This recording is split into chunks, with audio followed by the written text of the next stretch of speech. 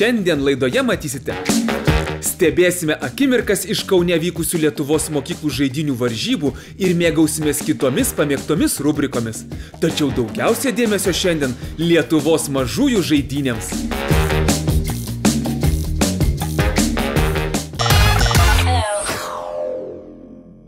Labas! Paprastai laidos pradžioje kviečiu susipažinti su žmogumi, jau ilgai besisukančiu Lietuvos sporto pasaulyje. Šiandien važiuosim į svečius pas tuos, kurie tik žengia pirmuosius atletiškus žingsnius.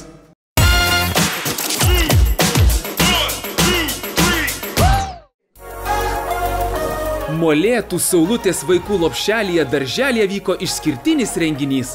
Nuo ankstyvaus ryto Lietuvos mažų žaidinių įstaigų festivalyje zujo mažiausiai sportininkai, nekantrai laukiantis, kada prasidės estafečių varžybos. Drauge su jais mankštai ruošiasi vienas itin garbus renginio svečias. Tai Lietuvos mažųjų žaidinių globėja, pirmoji šalies ponė Diana Nausėdienė. Projektas Lietuvos mažų žaidynės skirtas nuo mažų dienų skatinti fizinio aktyvumo įpročius ir vaikams parodyti, kad sportas yra džiaugsmas. Praleidote porą valandų draugė su vaikais. Kokie jūsų įspūdžiai? Įspūdžiai yra nuostabus, nes mūsų vaikai iš tikrųjų yra nuostabus. Jie yra smalsūs, džiaugsmingi, laimingi, mėgstantis judėti. Labai svarbu, kad jie judėtų nuo pirmųjų dienų. Ir čia mes matėme nuostabų pavyzdį, kaip pusantrų metų vaikai nuostabiai įsijungia į žaidimus ir su didžiuliu džiaugsmu tai daro. Ir džiaugsmas turbūt pati didžiausia dovana tiek tėvams, tiek vaikams, tiek, tiek visuomeniai, tiek pedagogams. Tai yra nuostabus, nu- nuostabus tikrai įvykis ir, ir labai džiaugiuosi, kad yra toks darželis, kuriame tai vyksta.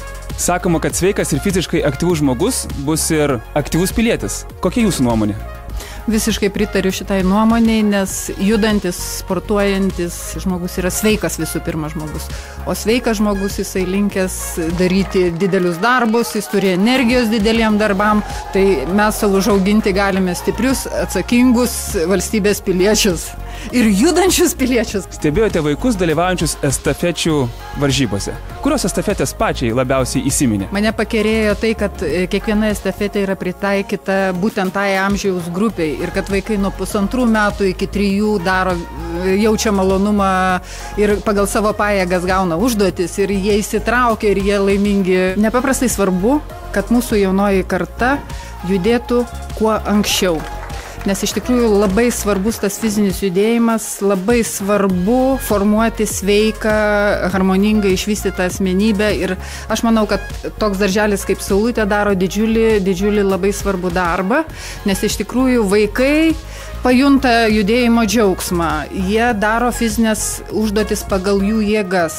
Ir jie darydami tas užduotis, jie varžosi, bet rezultatas pats nesuabsoliutinamas. Mokomasi bendrauti, mokomasi padėti, mokomasi pamatyti kitą šalia esantį draugą. Į ką atkreipiau dėmesį? Vienas vaikas, pusantrų metukų vaikas, buvo užduotis surinkti e, rutulius ir sumesti juos į krepšį. Ir vienas vaikas pasėmė rutulį, nešiojosi jį ir ilgai nenorėjo atiduoti. Toks nuosavybės jausmas prabudo vaikė. Ir paskui visi jį kalbina, kalbina, įdėktų į tą krepšį. Ir jisai visą laikotarpį tą nededa, nededa ir staiga pasiryšta ir įdeda tą kamolį į krepšį. Tai va tas va bendruomeniškumo ir to, to tokio va bendrystės jausmo ir to tokio dialogo, tokio nepameluoto, tikro, autentiško. Ta pusantrų metų vaiko žingsnis į priekį socializacijos linkme nuostabus yra tiesiog. Tai galbūt į jį ir labiausiai atkreipčiau dėmesį.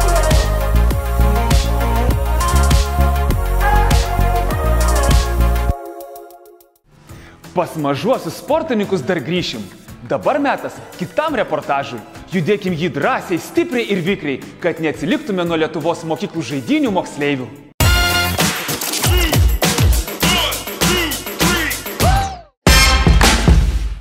Nors šio sezono projektas jau įsibėgėjo, moksleivių estafečių varžybų etapas tik startuoja. Esame Kaune, Tado Ivanausko progimnazijoje. Komandinė dvasia čia ne tik atvirojo ore, bet ir nebejotinai atvedė komandas į pergalės. Jūs atstovaujate savo rinktiniai. Drąsus stiprus vikrus. O kaip patekti į rinktinę? Reikia greičio, jėgos ir tiks, tikslių judesių. Patys laikote rankoje taurę. Kaip galvojate, ar nusipelnėte jos?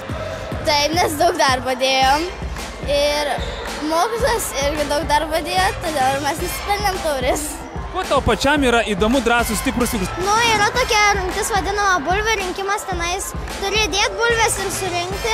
Yra ten, kur turi bėgioti, kuo greičiau nubėgti. Yra, kur turi kaip ledo rytulį žaisti ir varinėti tenais. Su krepšiniu aplink stovelius. Tai turbūt pati lengviausia yra su krepšnio kamoliu. Nu ne, biškutį lengviau su lanku, bet reikia ir su šokdynė mokėti ir su lanku, nes reikia šokinėti. Išmokti. Ištvermė, tikslumas ir greitis - visose aštuoniuose estafetėse būtinos sportininkų savybės, siekiant drąsiausiųjų, stipriausiųjų ir vikriausiųjų vardo.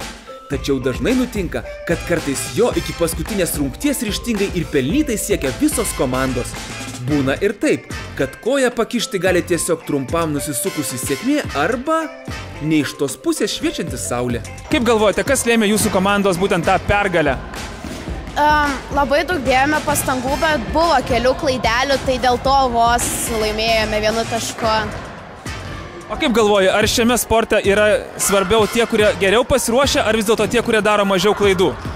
Tie, kurie daro mažiau klaidų, to, nes jie ir greičiau tada padaro viską ir nenujama taškų. Viskas sprendėsi paskutinėje rungtyje. Kaip galvojate, jeigu būtumėt gavę kitą pusę, kur švietė saulė, ar būtų tai pasisekę? Net įsivaizduoju, šiaip gali būti, kad nebūtų pasisekę, nes saulė tikrai labai spigino ir gal nebūtume net pataikyti į krepšį iš to pirmų kartų. Man, mano komanda labai patinka to, nes ji visą laiką, jeigu padaro klaidą, tai ją visą laiką ištaisys. O ką galvoja apie varžovus? E, varžovai irgi buvo labai stipri ir man atrodo, mums tiesiog sekėsi to, nes sėkmė buvo mūsų takelėje šie, šiandien. Kokios emocijos užvalgia, kaip paskutinėje rungtyje vis dėlto jūs laimėjote? Buvom labai laimingos, tikrai žiauriai nustebome, nes mūsų varžovai tai buvo tikrai labai stiprus. Tiek daug emocijų pasikrovėme stebėdami energingas 2009 m. gimimo ir jaunesnių moksleivių Kauno miesto drąsų stiprus vikrus žaidinių finaluose, kuriuose pirmąją vietą iškovojo Tado Ivanausko progymnazijos moksleiviai ir papuolė į tolimesnį etapą. Vyresniųjų grupėje pirmoji vieta paaiškėjo tik po paskutinės rungties ir ją pelnytai iškovojo prezidento valdo Adamkaus gimnazijos moksleiviai.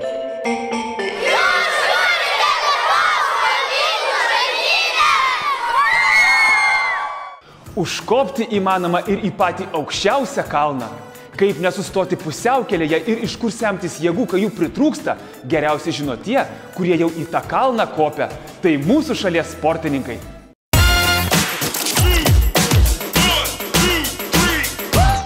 Sveiki, esu Karolis Girulis, LTIM komandos narys, kulkinio šaudimo sportininkas.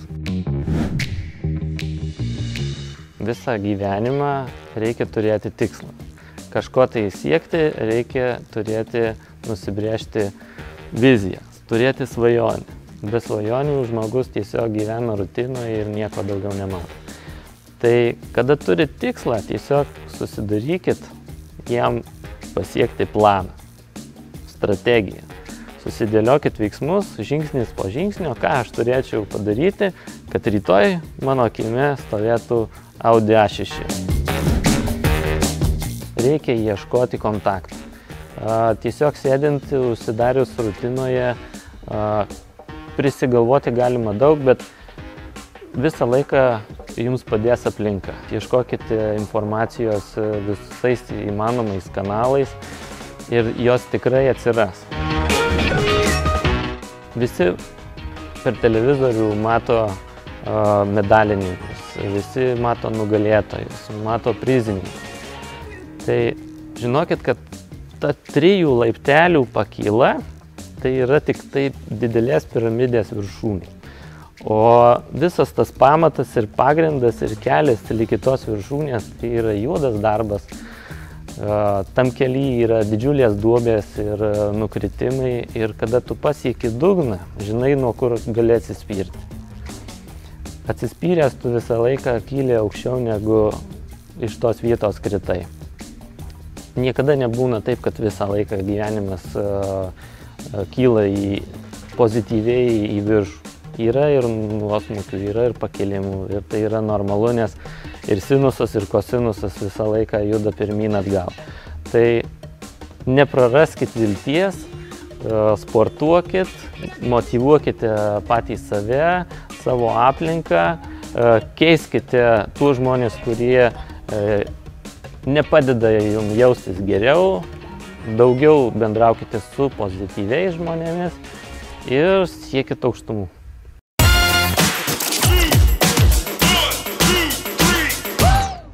Kanados buriuotojas Lawrence Lemieux 88 Seulo olimpinėse žaidynėse turėjo du pasirinkimus - laimėti auksą arba išgelbėti kitų dviejų sportininkų blaškomų 4 m aukščio bangų gyvybės. Jis pasirinko pastarąjį. Nors olimpinio medalio nelaimėjo nei tą kartą, nei vėliau, niekada nesigailėjo savo sprendimo ir teigė, kad ir vėl pasielgtų taip pat. Apie tai šią savaitę jūsų klausime Facebook'e. Ar teisingai atsakėte, a? Štai ir parodėme viską, ką buvom paruošę pirmajai laidos daliai. Dabar kelios akimirkos reklamos. Po reklamos matysite. Grįšime į Molėtus, kur lankėmės Lietuvos mažųjų žaidynėse. Vėliau reportažas iš moksleivių badmintono varžybų Kaune ir gydytojos Gilios Bernotinės profesiniai patarimai.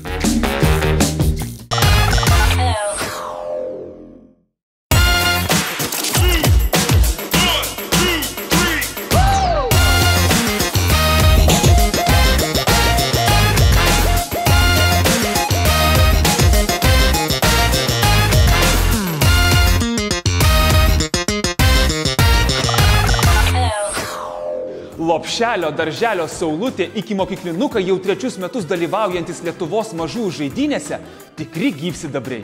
Toks susidomėjimas fiziniu aktyvumu tikrų tikriausias pavyzdys net ir mums suaugusiems.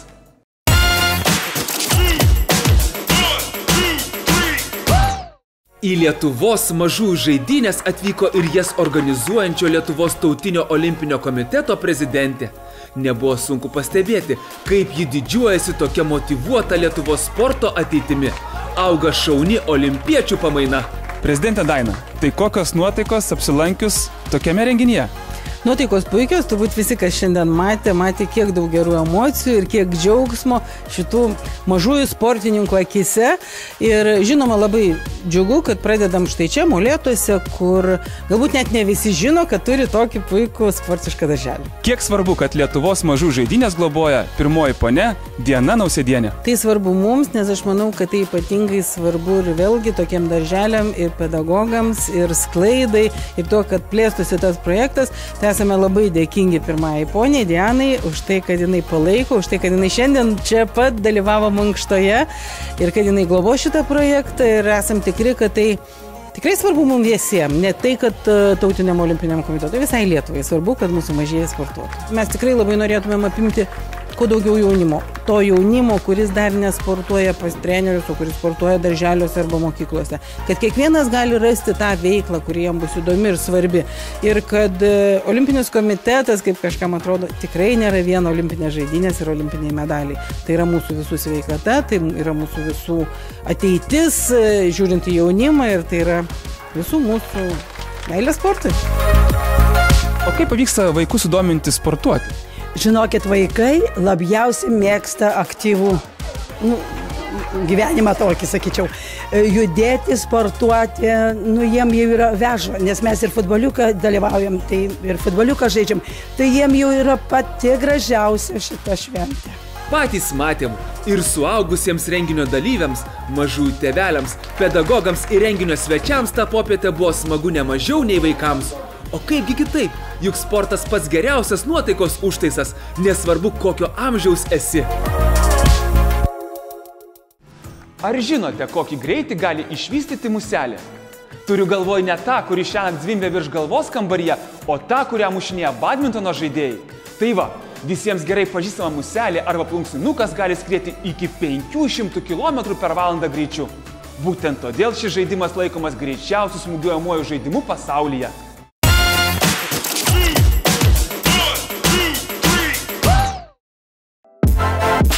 Badmintonas ypatingas ir dėl dar vienos savybės. Specialistai sako, kad šis žaidimas ima teikti džiaugsmą sulik pirmuoju plunksninuko atmušimu. Emilija, Viliau, ar pritarėt badmintono ekspertų nuomoniai? Iš pradžių lankiau gimnastiką, dabar pradėjau lankyti badmintoną, tai kažkaip ir linksmesnį pasidariau. E, žaisdamas labai mėgaujuosi. E, labai geras žaidimas yra badmintonas ir manau sieksiu visam gyvenime to. Dabar tikrai jokių abejonių, kad badmintonas yra fantastiškas dalykas. Tačiau, kad ir koks smagus jis bebūtų, tai sporto šaka, kuriai būdinga tam tikra technika ir reikalingos asmeninės atleto savybės. Akivaizdu, kad į varžybas Kaune moksleiviai susirinko ir vieną, ir kitą visiškai perpratę. Badmintoną žaisti reikia mokėti su raketė iš pradžių mušinėti su kamaliuku, kad meti ir muši. O jeigu tau nepavyksta, nu, bet tu vis tiek išmoksi ir tau bus tada lengviau šitaip išmokti mąstyti. Man taip irgi kažkaip vasarą mokindavausi, bet dabar va lankau. Nes aš nuo penkių metų, man atrodo, sportuoju, ne namuose mušinėjau mąstyti. Badmintoną sportuoju jau 10 metų. Pradžių treniravausi su savo tėčiu, jis buvo treneris šakiuose. Tai ten sportavau 8 metus, ne, 9 metus. Treneris pasiūlė atvažiuoti Kauną.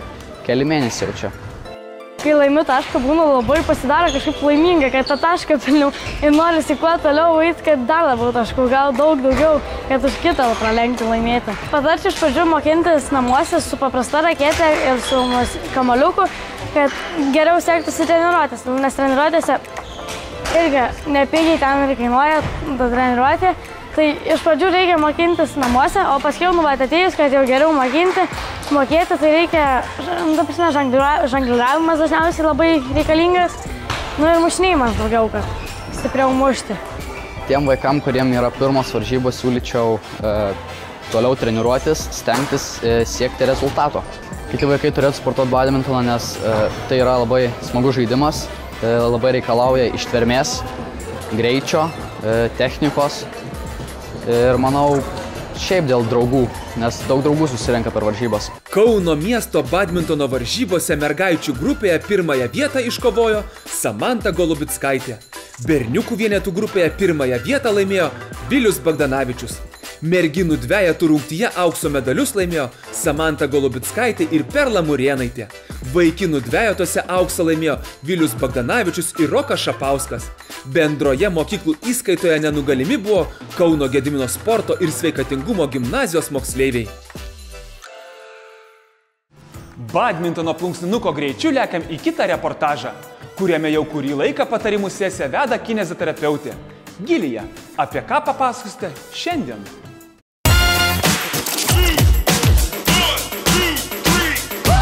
Sveiki, aš esu Gilė Bernatinė, kinesterapeutė ir jogos mokytoja. Šiandien jums noriu papasakoti apie laikyseną. Tai didžiausia problema, su kuria susiduria tiek suaugusiai, tiek vaikai. Bet vaikam mes galime padėti. E, suaugusiems padėti užtrunka daug ilgiau. Vaikas yra augantis organizmas, todėl jam galime padėti nesudarydami didesnių problemų, traumų ar skausmų. Ka, kokios problemos, kuriomis, kurio, kurios, kuriomis mes turime laikysenoje, iš esmės jų yra keletas. Turbūt pagrindinė ir dabar labiausiai e, sąlygojama išmaniųjų technologijų tai yra galvos palinkimas į priekį. Ir dažnai mes pastebime, kaip vaikai stovi, palenkia galvą į priekį, net nenaudodami išmaniųjų telefonų. Kaip šią problemą spręsti? Iš esmės, jau esu pasakojus, kaip taisyklingai naudoti telefonus. Tai yra vienas iš sprendimo būdų. Taip pat kiti sprendimo būdai yra, pavyzdžiui, važiuojant autobuse arba mašinoje, sėdint, jeigu yra galvos, galvos atlašas, mes galvą turėtumėme prispausti prie jo. Tai yra tiesiog e, nenatūraliai, kiek įmanoma daugiau laiko savo galvą bandyti stumti atgal ir formuoti tą galvos taisyklingesnę laikyseną. Taip pat, e, ką daryti, tai kaklo mankšta, daugiau mankštinti kaklą, e, apskritai mankštintis ir judėti. E, vaikas turėtų pasirinkti savo priimtiną ir patinkančią fizinio aktyvumo formą. Ir e, tikrai būtų galbūt klaidinga vaikus skatinti rinktis būtinai sportą, nes galbūt ne kiekvienas vaikas yra apsigimęs sportininkas. Taigi tiesiog vaikui leisti, pavyzdžiui, pasirinkti e, pramoginį plaukimą. Tai pramoginis plaukimas tai būtų tiesiog eiti į baseiną, plaukti savo, kad būtų linksmiau. E, taip pat gali užsimti kažkokiam treniruotėm. Kita problema, su kuria susidurėme savo laikysenose, tai yra dubens pastumimas pirmin. Tai galbūt labiau vyrauja pas paauglius, ne pas vaikus, stiprus, bet iš esmės va, toks va, dubens išstumimas pirmin. E, šitoje laikysenoje problemų gali atsirasti labai daug. Ne tik dėl mūsų klubinio asmens raumens įtampos, bet ir dėl apkrovos juosmeninėje nugaros dalyje. Ką daryti? Iš esmės šios laikysenos problemos sprendimo būdai, e, taip pat kaip ir su galvos laikymu netaisyklingai, būtų vienas geriausių variantų tiesiog bandyti tą dubenį stumti atgal. E, iš esmės, mes tos problemos tikrai neišspręsime, jeigu mes tą dubenį vieną kartą per savaitę pastumsime atgal, ar ne? Tai reiktų savo priminti pastoviai. Ačiū uždėmesi. Štai ir baigėsi pirmoji pavasarinė Lietuvos mokyklų žaidinių laida. Ačiū, kad klausėt, žiūrėjot, ypač ačiū, jei draugės sportavot. Einam į savaitgalį ir sutinkam kitą šeštadienį tuo pačiu metu. Iki. Kitoje laidoje matysite. Kalbėsime su Lietuvos šauliu ir nacionaliniu rekordininku Karoliu Giruliu. Lankysime jūs, mūsų bičiuliai, Lietuvos mokyklų žaidinių varžybose, bei pirmą kartą Lietuvos mokyklų žaidinių istorijoje rodysime akimirkas iš golfo varžybų.